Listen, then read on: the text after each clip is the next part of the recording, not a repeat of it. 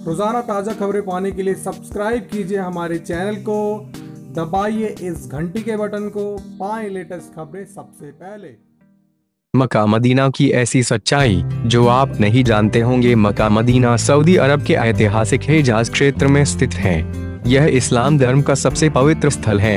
यहाँ पर काबा तीर्थ और बड़ी मस्जिद मस्जिद अल हरम स्थित है, जो काफ़ी प्रसिद्ध है। रिपोर्ट के अनुसार सन 2012 ईस्वी में की जनगणना के अनुसार लगभग 20 लाख लोग आए थे। परंतु अब हर साल तीन गुना लोग यहाँ तीर्थ यात्रा करने आते हैं।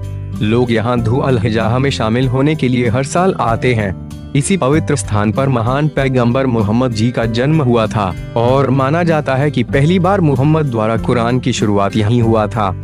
यहाँ पर काबा एक पवित्र इमारत के रूप में माना जाता है, जो कि मक्का जैसे में स्थित है। काबा 1400 साल से भी अधिक पुरानी है, परंतु इस्लामिक धर्म के अनुसार इसे इब्राहिम के समय से ही जोड़ा जाता है और दुनिया के हर मुसलमान इस काबा की ओर ही अपना मुँह करके नमाज़ पढ़ते हैं। मक्का में पत्थर से बनी हुई एक बड़ी मस्जिद जिसके मध्य में काबा की इमारत है।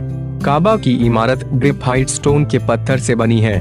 इसकी लंबाई 40 फीट, चौड़ाई 33 फीट है और इसमें एक भी खिड़की मौजूद नहीं है। सिर्फ़ एक दरवाज़ा है। जो लोग यहाँ हज पर आते हैं, वो काबा के चक्कर को तवाफ नाम की रस्म पूरा करते हैं।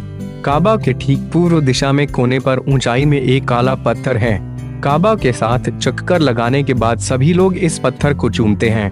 मक्का और मदीना क्षेत्र में किसी भी दूसरे धर्म के लोगों का जानना बिल्कुल मना है। यहाँ सिर्फ़ मुस्लिम धर्म के लोग ही जा सकते हैं।